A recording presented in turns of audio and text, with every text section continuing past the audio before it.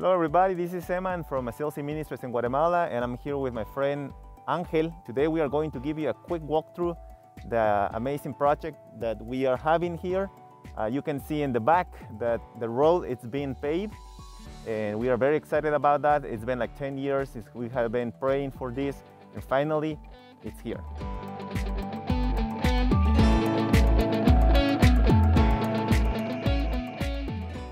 So the new road has 180 meters. For you remember, this is a, a dirt road that it's very difficult to access with mud and, and dust. We are very thankful with the community, community that is close by ASELSI, because this is a, a, joint effort to be able to do this road.